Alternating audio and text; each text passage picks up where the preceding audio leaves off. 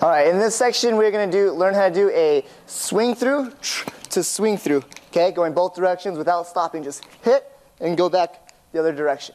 Okay, so how we do this is you're gonna start in your right shoulder. You're gonna do one basic spin all the way through. Now coming back, you're gonna go one direction. When you get to the middle, you're gonna switch and go the other direction, but you're gonna make it look like an illusion with, uh, without stopping. Okay, so first one, I'm gonna spin. One, two, three. Spin through, hit my shoulder, come back around. From here, I'm gonna go down one, two, Switch directions three, four, and hit.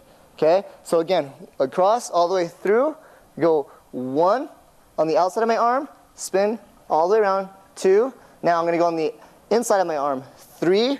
Now on the outside of my arm, four, and hit. So one, two, three, all the way through, one, two, three, four. Okay, you can go all the way to a catch or just keep going from here yeah, yeah, bam. Okay, so one more time. From the shoulder, come across, swing, just spin it. Make it look like one chuck. Remember, hold it between the two fingers. Hit the shoulder, come all the way through. One, two, three, and four. Hit the shoulder, bam, and then keep going or to a catch. All right, and that's gonna be your swing through to swing through. Uh, on the second time, remember, you're going one direction, switching directions.